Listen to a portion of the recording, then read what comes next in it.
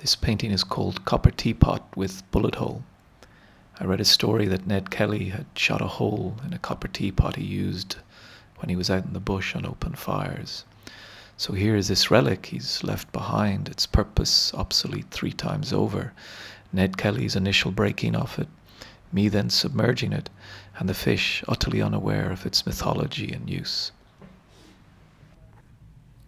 This painting is called a Little Splash and it is a, an homage to Hockney's painting, A Bigger Splash, which in itself is an echo of a motif that is always present in my own work, that which we leave behind.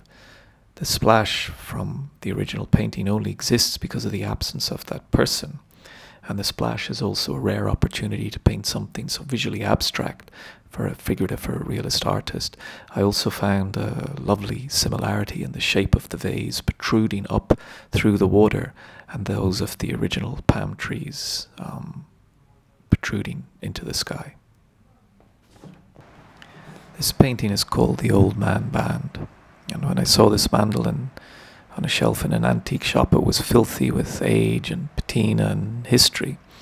I spent way too much time bringing back that shine in a way destroying the story its patina told. Hemingway was of his time, and his writing punchy and exciting, his ideas bold and very masculine. But does his work still hold relevance in a time that embraces a different outlook on so much of what were considered masculine virtues? Hemingway doesn't care. He continues to play his tunes with his band of other old men. This painting is called I'd Rather Drown. There was a, a degree of guilt in repurposing other artists' iconic imagery for my own paintings, but with Lichtenstein I did it gleefully, as he was such a wonderful plagiarist himself.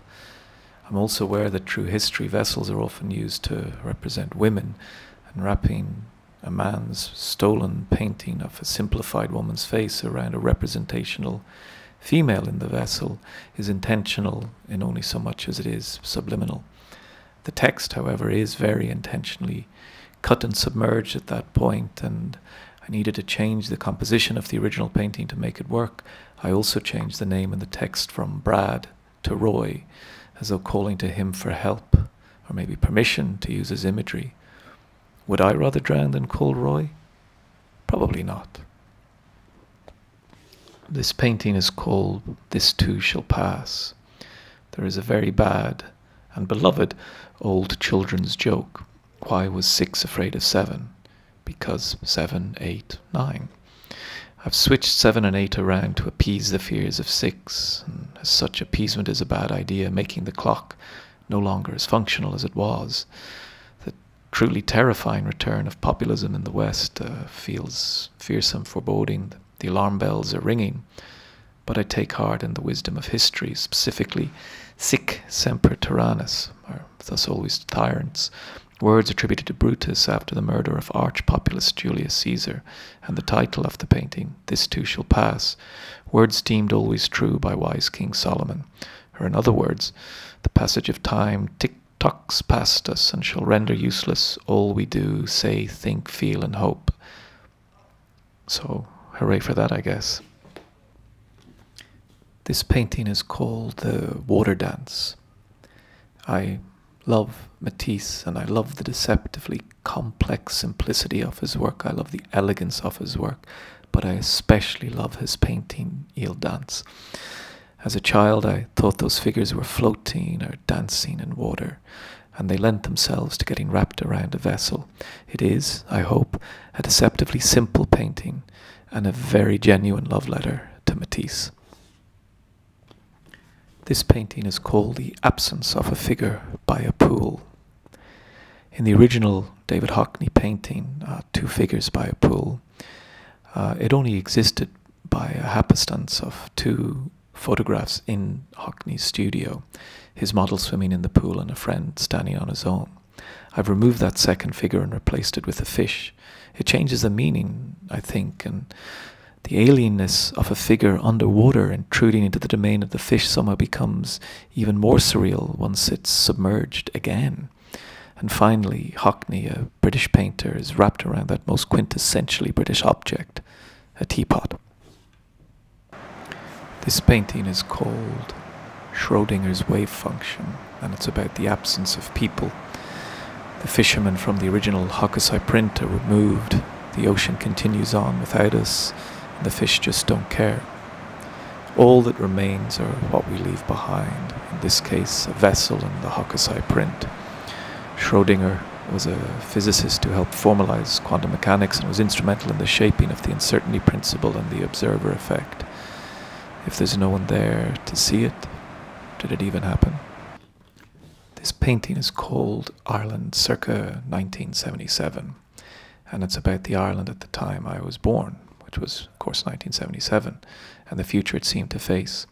On the one hand, which is the dark, black, or I suppose bad camera, was the very clear violence of the north, uh, which is a splash of red paint across the camera that dominated the news at the time. And I guess the news is represented by the flash, you know, shining a light on what was happening. On the other hand, the white or rainbow or happy or good camera, I suppose, was the Irish state's relationship with the Catholic Church, which is the bishop piece, and the appalling relation the church had with children, which is the pawn piece in their care. And of course, it was much less visible, the absence of a flash.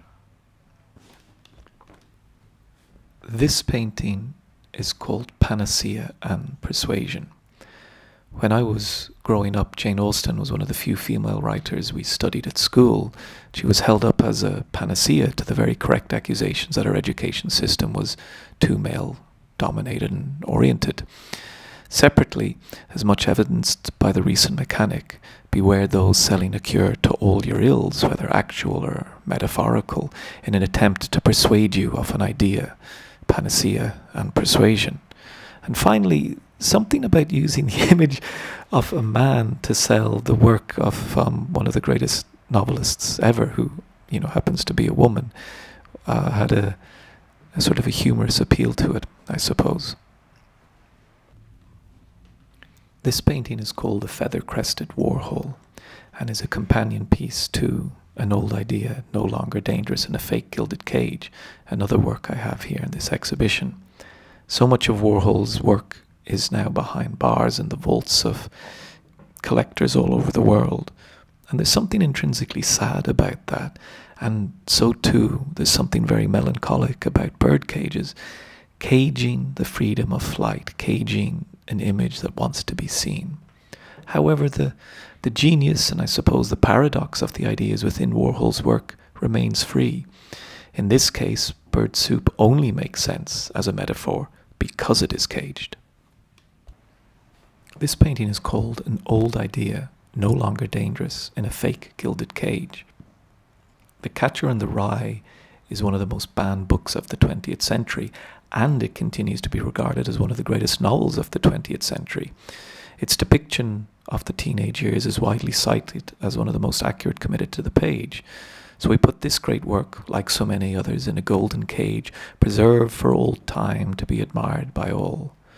But the strength and power of those ideas has faded. The cage is fake gold, not real gold. The ideas that resonated with those older generations no longer have the same impact. Old ideas in fake gilded cages. This painting is called Love and Kisses, Andy Warhol.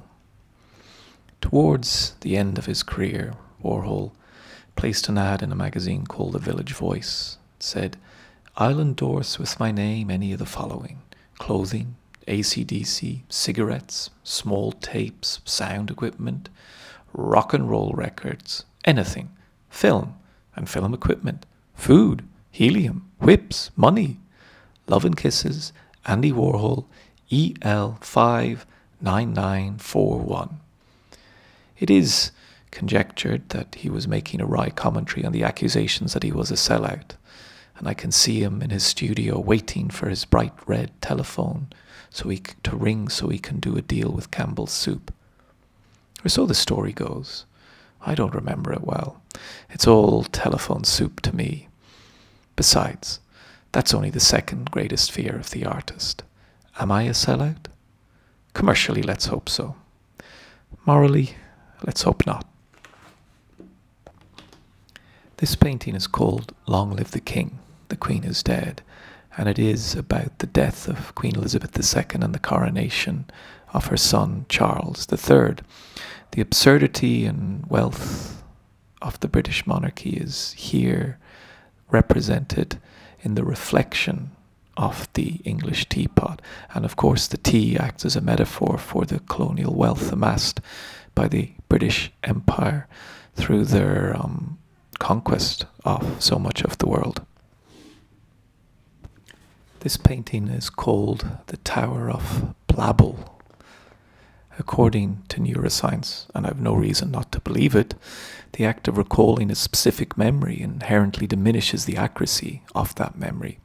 We use placeholders for our memories, and here the redhead matches are a placeholder for someone early in my life, a redhead, but now all I have is this collapsing memory of that person, imperfect, imprecise, broken. Hence, the matchboxes are all missing their most important part, the striker for those matches, and any indication that those boxes are full of matches is also absent. This painting is called Damaged Vessel. What is real? A picture on a jug? The original painting? Has a missile punctured a hole in the jug? Will a toy fire contain the flames? Don't ask me. I don't know anything.